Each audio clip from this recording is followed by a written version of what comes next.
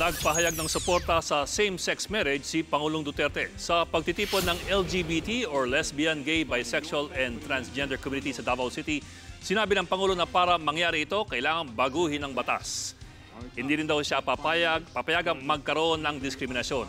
Hinikayat pa niya ang LGBT community na magrekomenda mula sa kanilang hanay ng tao na pwedeng italaga sa Philippine Commission for the Urban Poor or PCUP. I said I am for sex marriage if that is the trend of the modern times, if that will add to your happiness. I am for it. Who am I? Ang problema, we'll have to change the law.